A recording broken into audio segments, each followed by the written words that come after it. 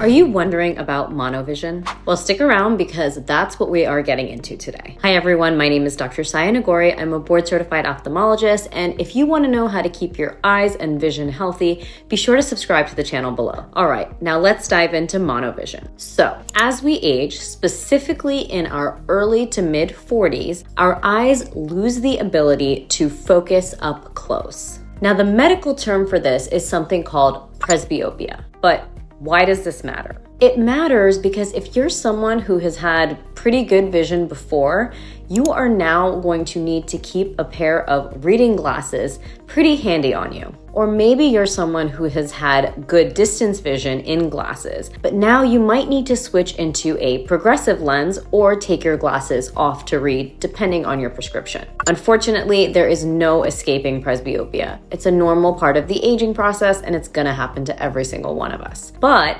Monovision can help you and it may not be as annoying as you think. So what is monovision? Monovision is an alternative for someone who does not want to wear bifocal glasses or progressive glasses or does not want to carry their reading glasses around. In monovision, an ophthalmologist will aim to correct one eye for distance and the other eye for near vision. This is why it's called monovision, mono standing for one. One eye sees at distance, one eye sees at near. So this way, instead of constantly switching between distance glasses and reading glasses or having to put your reading glasses on or using a bifocal lens, your brain will learn to adapt so that one eye sees distance and one eye sees near. Now this sounds great, right? But not everyone can adjust to monovision.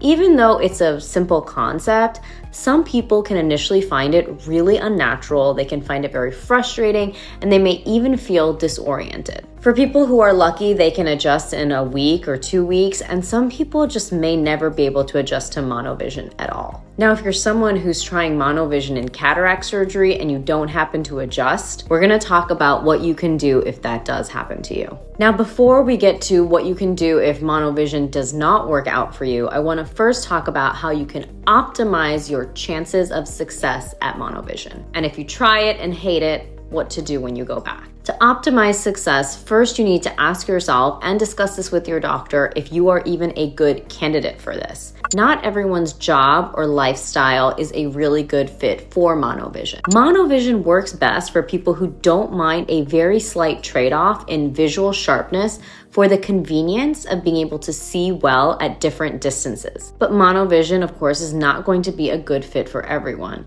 If you're someone who requires sharp depth perception for activities like night driving, sports, or highly detailed work like surgery, it may not feel good enough. Some people may also struggle with the visual imbalances that happen between their eyes and then they can never fully adjust to it. That's why you have to test monovision before committing to it in something like surgery. So, this is the second part to improve your chances at success. You want to try monovision first. And the easiest and safest way to try it first before having it surgically done for something like cataract surgery is to try it in contact lenses. Your doctor will give you one contact lens that'll correct you for near and then the other for distance. If it feels comfortable, it's a good sign that you'll be able to tolerate monovision cataract surgery. But if it feels strange or difficult, you should give yourself a little bit of time. If it still doesn't work after a couple weeks, you may not want to opt for this in cataract surgery. Typically, in monovision, your dominant eye will be corrected for distance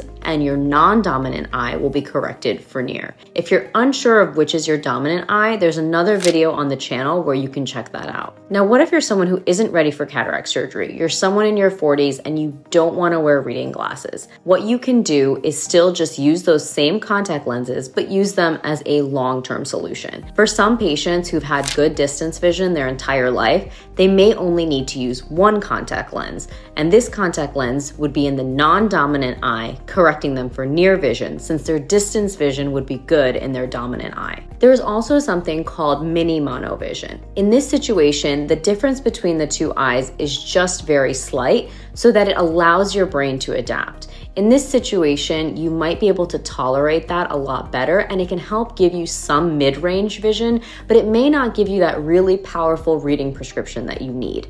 In those situations, like reading a menu in a dimly lit restaurant, you might need to carry a pair of reading glasses with you, but from a daily task perspective, mini monovision may work out for you. So if you tolerate monovision, this is something you can certainly ask your doctor about. If you're someone who needs to have cataract surgery, monovision is certainly an option you should discuss with your doctor. But overall, how successful is it? So most people actually adapt pretty well, and the success rates range anywhere from 70 to 85%. But now, what if you fall into the category that just can't adjust? Let's say you did the contact lens trial, you thought it was gonna work, you still went to cataract surgery, and now you're not really adjusting to monovision. Some signs of not being able to adjust to monovision after surgery is struggling with night vision, depth perception, or just feeling like the world looks funny through differently corrected eyes. So if you find it unbearable, don't panic. There are ways to go back. Now, of course, if you're in contact lenses, you can just go back to what you were wearing, or you can also ask your doctor about multifocal contact lenses.